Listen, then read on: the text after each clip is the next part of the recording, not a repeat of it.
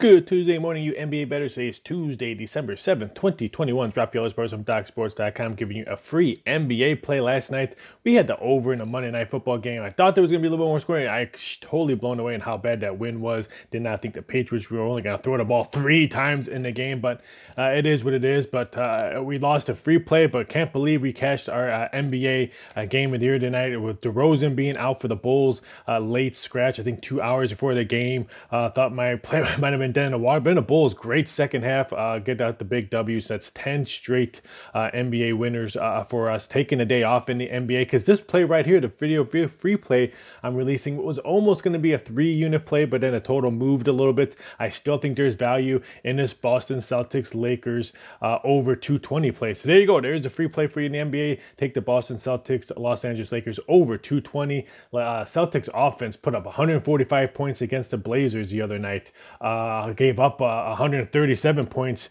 uh, the other night at Utah. The Lakers, we all know about their uh, defense. They give up a, a lot of points. Uh, LeBron coming back. Their last, I think, their last five games, four of them have gone over the total. So I think we're gonna see a lot of points scored in this game between the Celtics and Lakers. So take the over 220 Celtics at the Lakers. You guys all have a fantastic, fantastic uh, Tuesday. Don't forget, jump on our NHL play. Have a nice big seven unit play in the NHL and a nice college basketball play today as well. Have a fantastic day please don't bet what you don't have.